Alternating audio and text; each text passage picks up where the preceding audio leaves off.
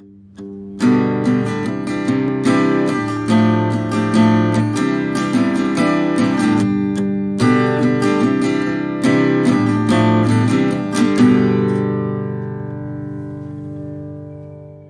good morning.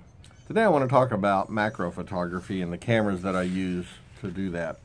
Um, the cameras that I use for macro photography are Olympus Micro Four Thirds cameras. Now this is the EM5 Mark II. Uh, not the newest thing from Olympus, obviously, but very capable camera. 16 megapixels, which is plenty of pixels for what I do. Um, these uh, Olympus cameras have an amazing image stabilization that's very useful. Um, this camera will actually do focus stacking. It's built into the camera with certain lenses like this macro lens that I have on here. It will actually do focus stacking within the camera and combine them into one image rather than doing it in a, on a computer. So this, um, this lens is the 30 millimeter f3.5 macro lens from Olympus. Super sharp lens goes all the way to 1.25x magnification. The working distance of those that, that magnification is pretty close. Uh, so it's probably not the best thing for bug photography, though I don't do a lot of bug photography, so that's not an issue for me. The um, other camera that I use is um, kind of a classic for Olympus. This is the Olympus EP5.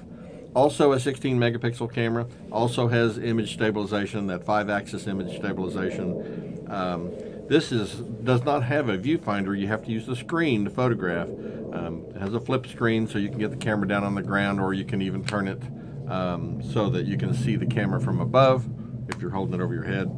Um, these are just a, for a very compact uh, camera that has great image quality, these are really hard to beat. It's one of my favorite cameras not necessarily just for macro, but for an everyday carry around camera. This is this is one of my favorites.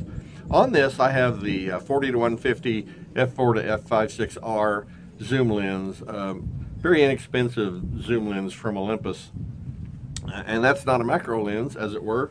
But what I do is I add to it the Raynox DCR 250. I don't know if you can even see that, but it um, this is a supplementary lens that you can buy that turns your zoom lens into a macro lens.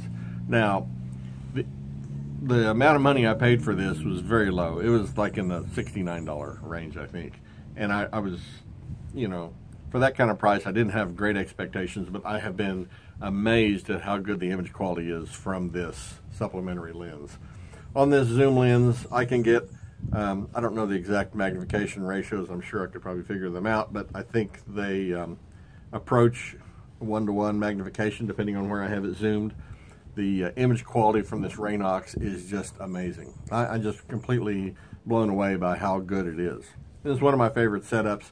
Has really nice working distance, so if you do like shooting insects, then then that's helpful. Um, very inexpensive macro setup, and but very capable, and so that's that's a lot of fun to use. The other one of the other lenses I use is this uh, 55 f3.5 micro Nikkor. Now this is a classic lens from Nikon. Um, I have on it here the PK13 extension tube. But this lens uh, has just amazing image quality. They're not expensive. I think you can get these on eBay from 50 to maybe $80. Um, if, if you don't mind the manual focus and manual aperture, um, these things are just amazing in terms of image quality. Um, they really don't take a back seat to even our modern optics today. So if you um, if you're needing wanting to do macro and uh, needing to try to do it in an affordable way, this is a great way to start. So I use that for uh, quite a bit of my work. Now, largely I shoot most of my macro with just available light. Um, that's what I really like. But every now and then, um, I either need to add some light to the subject or maybe I just want to be able to stop down enough to turn my background dark or maybe even black and still have my subject illuminated. So I have a diffuser here that I made from some translucent plastic. Uh, this was actually some shelf lining material that was on some wire metal shelves at the place I work and they were getting rid of the shelves so I saved this lining material, um, added some Velcro to the way I've cut this out so that I can wrap it around the lens, Velcro it to itself, and it'll hold itself on the lens. This um, allows me to create a diffuser that I can use with a flash um, to illuminate the subject. So I'll, I'll, put that on the lens. Then I have this little flash that came with this Olympus um, camera. It's the FL LM3 uh, flash. It's a tiny little thing, but I really don't need a lot of light to make this work. And like I say, in most cases, all I'm trying to do is just, you know, drop my backgrounds off.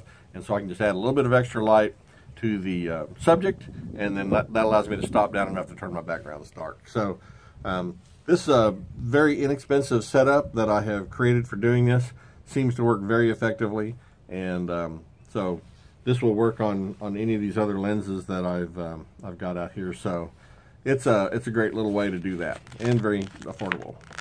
So this um, diffuser is something you can make at home and you don't, you know, you can buy them, but uh, you know, I mean, that took me five minutes to make a couple pieces of Velcro and a pair of scissors. It didn't take much. So anyway, um, the Olympus cameras, some of the reasons I really like these things have to do primarily with the, the value you get for your dollar.